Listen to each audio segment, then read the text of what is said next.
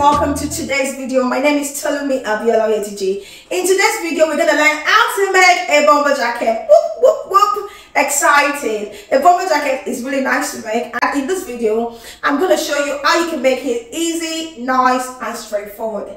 My name again is Tolumi Abiola. I am a creative educator and a fashion designer with over 20 years experience in the industry. And on this channel, what I do is share tips, insights, and garment construction methods, everything you need as a fashion designer, as a creative, or as someone that just enjoys sewing. So if you've not subscribed to my channel, before we start, you want to subscribe right now. So guys, let's go into the making of this video.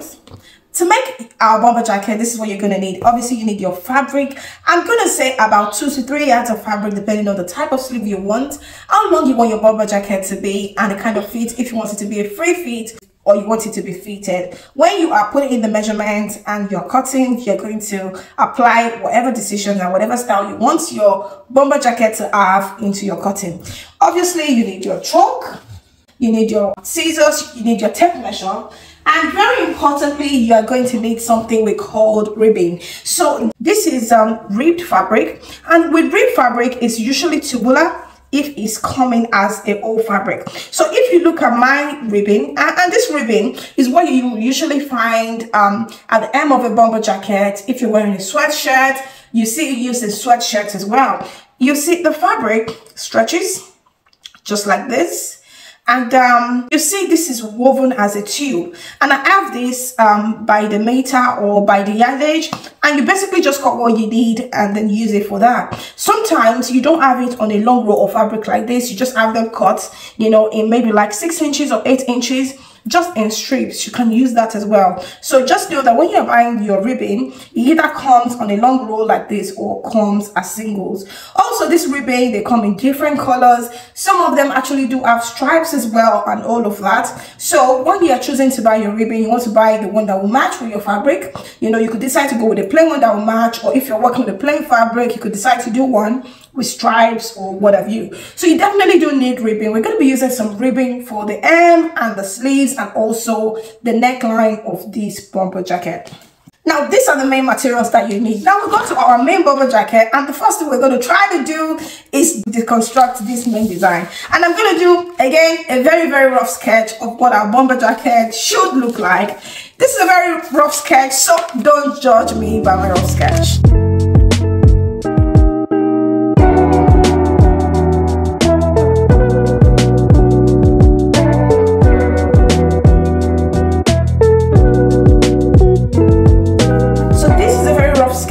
Our bomber jacket. Now we have the front of the jacket I'm going to have the back of the jacket. What you would notice is that the front of the jacket is in two parts as you either have a zipper in the middle here or you have buttons, whatever you feel, you know, comfortable with. For this one, I am not going to be using a zipper. I'm going to be using buttons, but you can decide to put um, a zipper in yours. So yeah, so we have the front of the jacket and very similar to the front is the back of the jacket. That's i mean this goes for the body of the jacket both the front and the back. That's number one. Then number two is basically the sleeves and we have two of that. That's the next part that we will need to cut. And then the third part will be the um will be the cuff. The cuff on the end of the sleeves which will be made of the ribbon fabric. So the top part will be the part where we are using the ribbon fabric for which will be the cuff. The end which is on here and the neckline. And these three things we are going to be cutting with ribbon. So now we need to start by cutting the front and back of the jacket. Then we cut the sleeves and then we do the ribbon. Now the measurements that you need to make this you need your bust measurement and um, I would really say you don't need your waist measurement. For me, I will mostly just go with my bust and hip measurement. These are the two measurements that are usually very important when you're making a bomber jacket. Also, you're going to need your sleeve length. You need your sleeve width, which is basically the circumference of your hand. Yeah. And then and then you also need your shoulder so i would say these are the top measurements that you need. Now the first measurement we are going to use to cut the body is the bust measurement. In this case we are working with a bust measurement of 42 inches. And now to this 42 inches we are going to be adding some allowances. But before we get there we go to the hip as well. The hip measurement in this case is 48 inches. Another measurement that I have not put here is the length of this jacket itself. Now for this jacket, because I want my jacket to be quite long, I'm going with a 30 inches length because I want the jacket to be long. So the length of this jacket is 30 inches. The length of 30 inches is from the shoulder here to the hem, but we are going to be adding some ribbing on the bottom here. An average length of the ribbing will be about 3 inches. So whatever you have on here, you want to take away that 3 inches and that will be the length you're working with. So if we take 3 inches from 30, we are coming back to 27 inches. So you're actually going to be cutting this 27. Obviously, you need some sewing allowance, half inch on the top and half inch on the bottom, which brings us to 28. So you're going to be cutting a length of 28 inches. Now to the width, the hip measurement is 48 and the bust measurement is 42. Now, if you're a very curvy person and your jacket is going to be long, then you have to consider your hip measurement. So basically, when you look at these two measurements, you use the wider, the wider one out of the two. In this case, the wider one is 48. So I'm going to be working with 48 inches. To this 48 inches, we're going to be adding allowance on all the sides, which is half of an inch in four places. That makes it 2 inches for allowance and a total of 50 inches. If you want your jacket to have a free fit, and you want to add some room in your jacket, which I would say you should definitely have, then you are going to be adding room allowance to your jacket as well. And it will be a minimum of 4 inches. You can do as much as 6 inches, but I would definitely say minimum of 4 inches. If you want to stay in between, you can add 5 inches. So let's say we want to stay in between and we have 5 inches, that makes this to be 55. In other words, we're going to be cutting a width of 55 on our fabric with a length of 28 inches.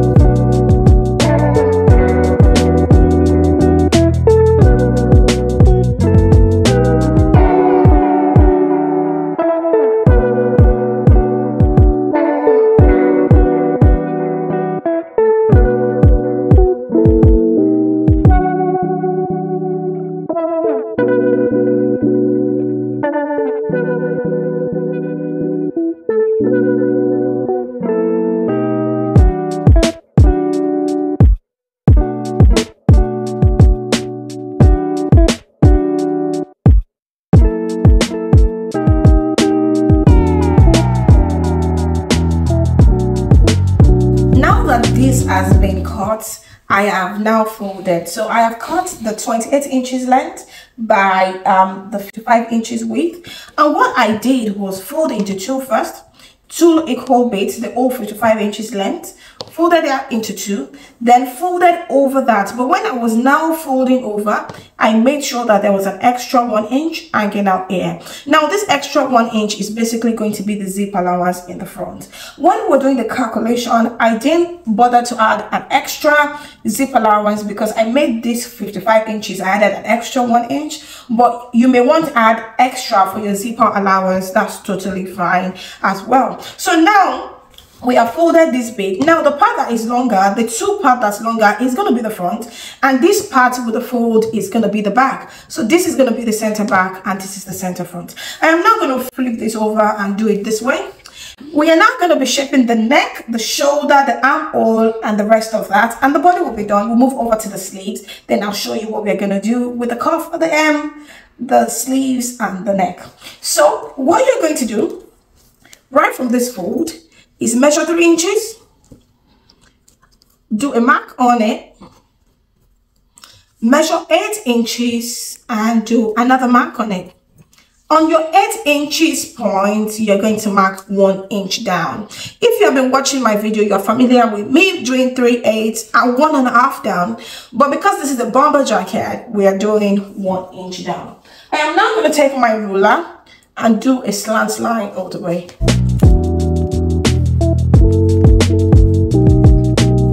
Now this has been done and it represents the slant of the neck. And we're going to come back to that. You are now going to come to the depth of the back, which is on this fold, and you are going to mark two inches. You don't need the back neckline to be low. You need it to be high as you would have in a bomber jacket. For the width at the back, we are going with about four inches and already what we have here is three.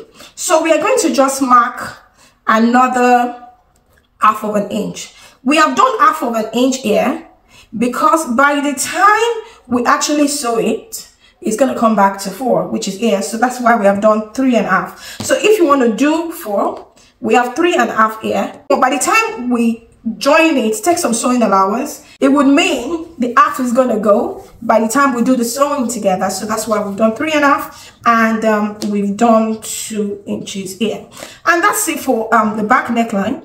Now we are going to come to the armhole. This is where you need your shoulder measurement. For the shoulder measurement here, the shoulder measurement we're working with is 17. So what you do with these is divided by 2.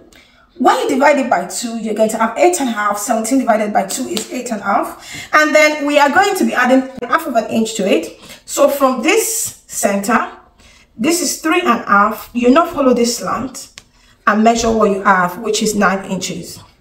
So we are going to be shaping the armhole from here.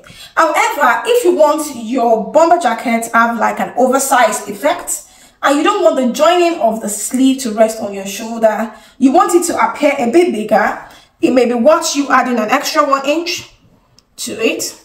Remember, bigger is always better than smaller. If it's bigger, you can always make it smaller, but when it's already small, it's a struggle to make it bigger. So you can always make it bigger. So another extra one inch to give our bomber jacket a sort of oversized effect. Now you're going to come to the length. So from the other side here, which is a fold, everything is a fold.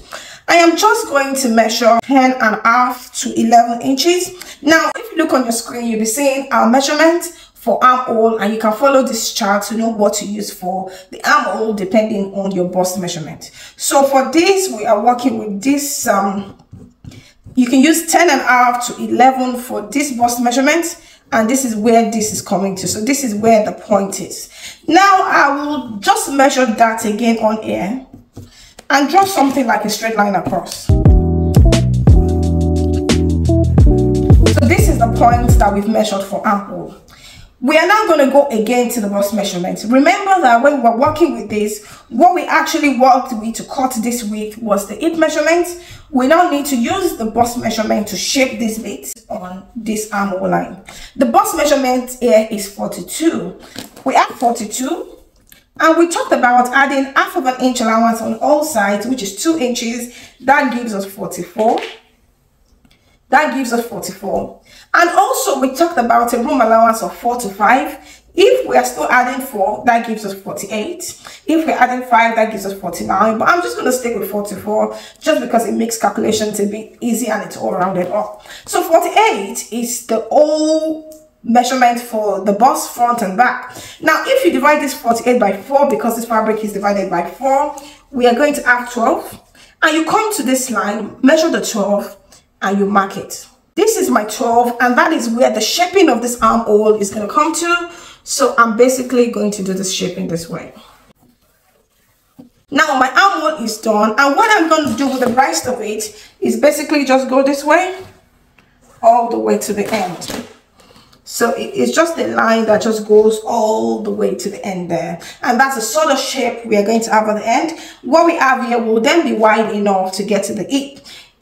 Your E is not as wide, maybe you're not too curvy, then what you will do is just take it straight down. Try not to measure the waist. You don't need the waist measurement here because you're still going to have an elasticated bottom with the ribbon when the ribbon is in place. So you don't need to measure that. Just take this all the way down. If your bomber jacket is short as well, so maybe you want a crop one, you still don't need the waist. Just take your bust measurement all the way down, put the ribbon in, and it will give you the effect that you desire. So our side is done, our all is done, neck for the back is done. We're pretty much going to follow a similar neckline for the front. The only difference with the front neckline is that it's going to be lower. So instead of doing the same two inches for the front, we're going to be doing about four and a half to five inches for the front depending on the kind of effect you want to have i usually not like my bomber jacket to be too high because we're still going to be putting ribbon on the neck as well and that's just going to raise it up a bit so eh, i am just going to stick with four and a half and I mark my four and a half here. So basically the shaping for the body is done. We just need to cut it now.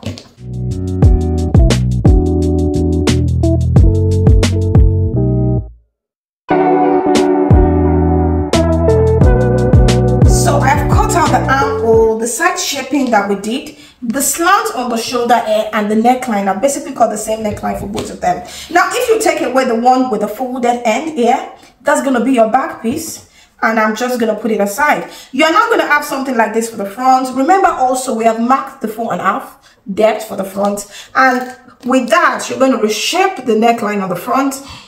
You reshape that and that's your front piece all done.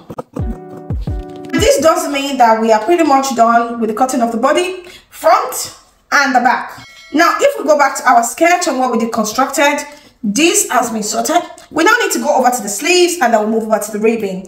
The sleeves are really basic as well. If you have not seen my video on how to draft a sleeve block, please do go to watch. You will find easy, easy method on how to draft the sleeve. And now you can get the sleeve with any type of garment. You'll be able to do your sleeve. I am just going to quickly cut the sleeve now you need your sleeve length now for this one i don't exactly want my bomber jacket to be really really long on the sleeves i want it to give me something like a three quarter if head because i want to be able to sort of wear casually so i am going to be going for a length of about 22 inches the length of my sleeve and the width of my sleeve is just basically my arm width which is 16 but always add two inches to whatever i measured so it's to be 18 so we have 22 by 18 inches width. Now to cut our piece what are we cutting out the length is 22 but we are going to be adding a cuff to it at the end which is going to be about three inches as well. So instead of doing the 22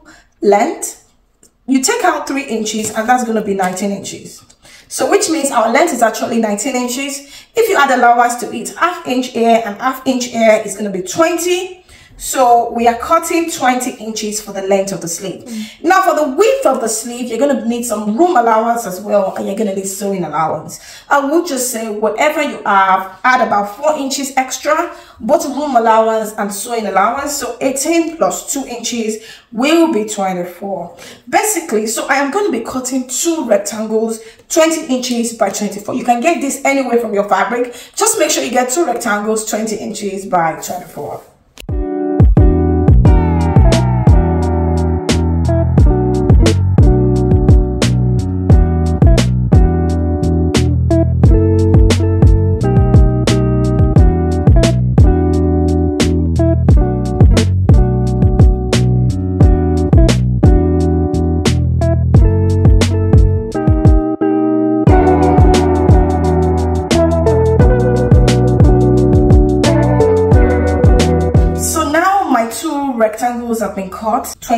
Inches right here and 20 inches on the length. Now this is a piece that we're going to be using to shape the sleeves and the first thing we'll do is shape the top of the sleeves. To shape the top of your sleeve you need to know the circumference or measure what you have on the armhole of your main piece which is just here. I know this is slightly fading into the fabric so i'm putting it here. So now if you do your measurement what I have on here is about 11 inches. What we need to remember as well is that we're going to be joining this by half of an inch. What we are going to do is that we're going to shape this and try to put the 11 inches here.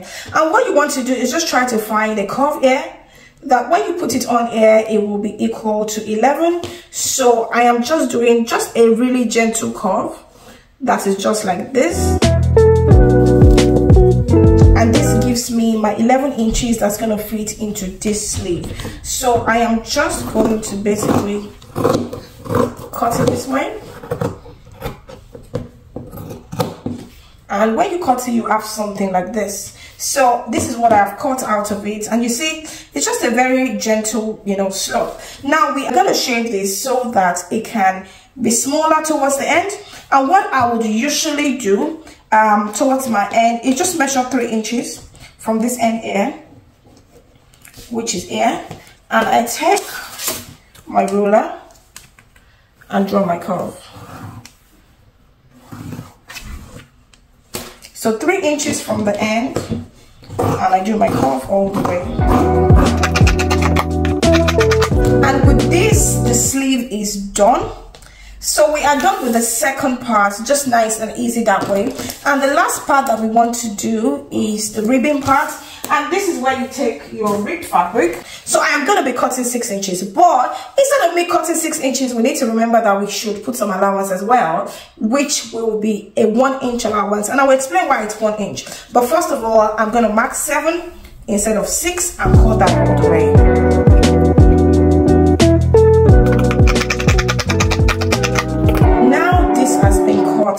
also going to open one end. Remember this is tubular, so I'm just going to open it and when you open it, it becomes one wide piece. Now to use this, we need to fold it this way and this is the reason why we've added one inch as the allowance because we are using it folded this way this will be the end on the bottom or wherever we are putting it and um, we have three and a half here we sew by half of an inch and we have three left you know, because that's what we intended to have. Now, I will just be cutting about two of these because I can already presume that this will not be enough, so I'm just going to cut two of these. This also will probably tell you if you are buying it um, and you're buying the strips, you would need, I believe, an average of two. To be on the safe side, um, you want to do three, but you will need an average of two to get um, this done for you. So now we have cut the pieces. And now basically, for the sleeves because the circumference which is up here is usually around 8 inches. That's what you have on the average. If you measure it to be tight and fitted it will come to 7 but you don't want to have that sort of fit. So if I measure mine to be tight and fitted it comes to 7 that way. But if I do 8 it, it just gives me like a nice comfortable um, comfortable fit. If I do 9 it may be a bit too free and it doesn't make that you know fitted on me. So i could do anything between eight and eight and a half for my wrist. So if i'm doing eight and a half for my wrist i'm going to add another one inch allowance as well which will allow me to join it together. So basically i'm going to be cutting nine and a half for the width or for the circumference of my wrist in two places because they are two sleeves so i'll measure nine and a half now